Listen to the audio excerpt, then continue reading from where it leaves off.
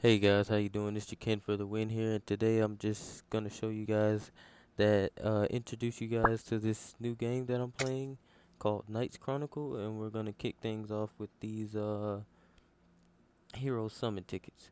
So without further ado, I'm gonna start with the four stars. So let's go ahead and see. Uh, I don't think that guy is really usable.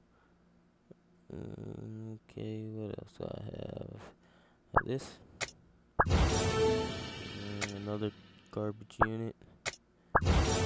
And I'm not saying that just because they're uh, R's. Some of the R's are actually usable, but those particular ones that I just got are I highly unadvised using them. Actually, I'm going to go read their skills real quick just to make sure that they're not usable in any way because as you guys would know, I play all games that I play for the majority free to play. I haven't spent any money on this game, so don't worry.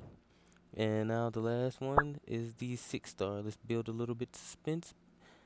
And let's go. See what we Oh, come on. What is this? Alright, let's go see. More than likely than not, those ones are useless because I didn't see.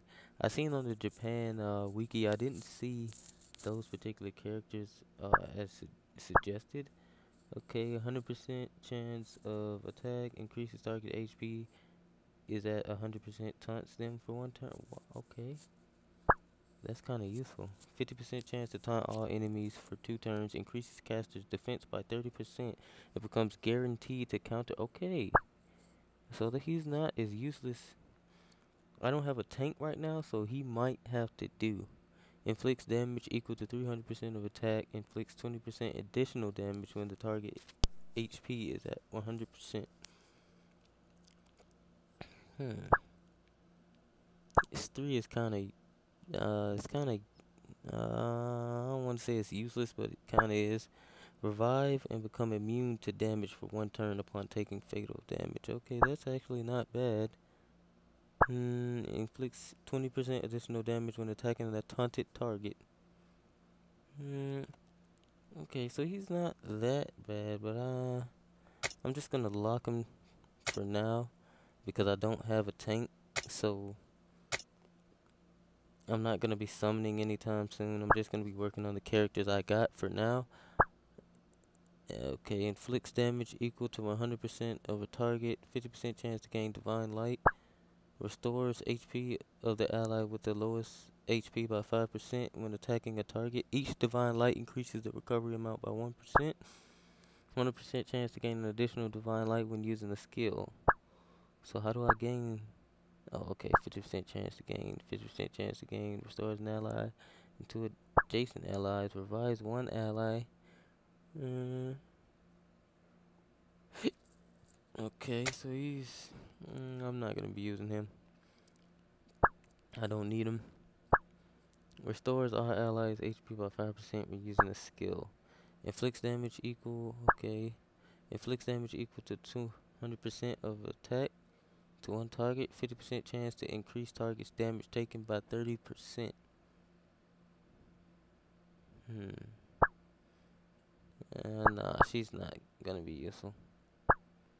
Yeah, I don't need it. So both of those are trash. But the units I have right now, I re-rolled. Uh, I spent only maybe a 30, 40 minutes, and I was able to get Esna. So I stopped there. I didn't try again, and I've been leveling her ever since. Details, we can go uh, to the rune setup that I have for her. So these two runes in the middle obviously are going to get changed out, as well as the sixth rune, because if uh, you don't know, you cannot level up runes in this game. They have to be six stars, and then you enhance them from there. That's what I've learned, which kind of sucks, but whatever. So basically, what I'm trying to go for with my Esna is to counterattack and multi-strike. Just basically have her attack as many times as possible. Not really necessarily trying to do super high amounts of damage. I just want her to attack as many times as she can, so that way she can inflict her mental seal uh, as much as possible.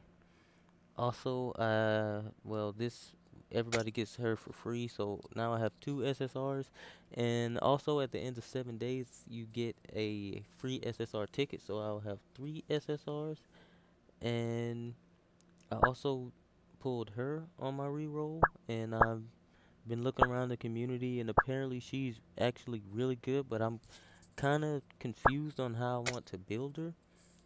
But for now, I have 20% attack increase and critical strike chance. So I kind of made a mistake. But what I'm going to keep this rune. I'm going to keep that one. I may keep this one. I won't keep this one because I want to see if I can get all of her runes, if possible, with uh, crit strike chance on them so that way I can increase her damage potential. Because with this skill she's actually one of the highest DPS characters in the game apparently. But I'm still learning. And so for right now I just wanted to make this video just to show you guys that I am playing this game. And we're gonna go ahead and jump into some PvP battles. I'll probably just do two PvP battles and then recommend something for new players and then go ahead and end the video there. So this like and uh to me I think it's very important to reroll because early game I'm just so much more powerful than everybody else. Like you see everybody else just has R's, R's, SRs. But me